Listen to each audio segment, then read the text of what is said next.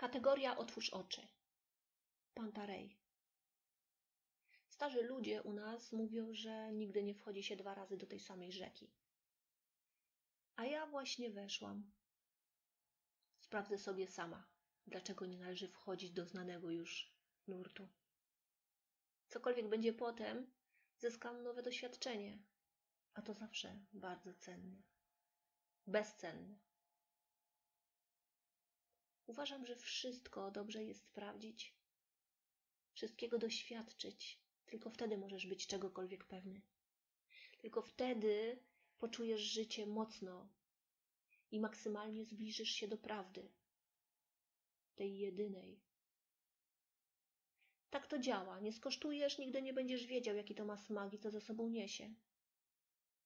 I na tym chyba polega całe sedno życia, na doświadczaniu go, kosztowaniu, sprawdzaniu, dotykaniu. Co ciekawsze jeszcze, Grek jeden starożytny napisał, że niepodobna wejść drugi raz do tej samej rzeki, bo przecież napłynęły już inne całkiem wody. A to zupełnie odrębne spojrzenie na sprawę płynącej rzeki. Pantarej, czyli wszystko płynie.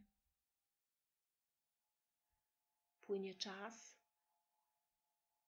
płynie życie ludzkie.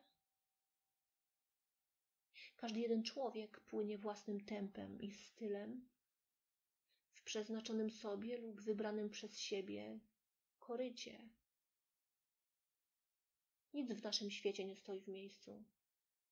Nie może. Nie jest w stanie. Jeśli coś stoi w miejscu, to rodzi się cierpienie, dyskomfort, zło. Życie to droga.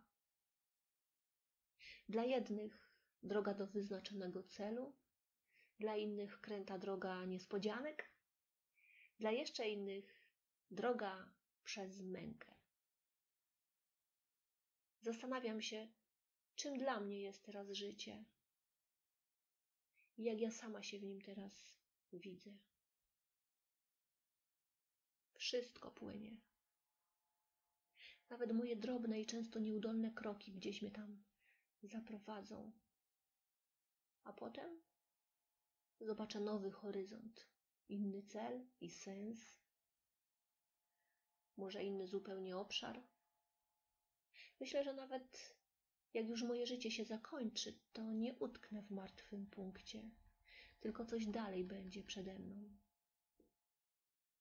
No wiem, to już jest wiara, pobożne życzenie i nadzieja na cokolwiek. Przyłapałam się. Potrzebuję wiary. Jednak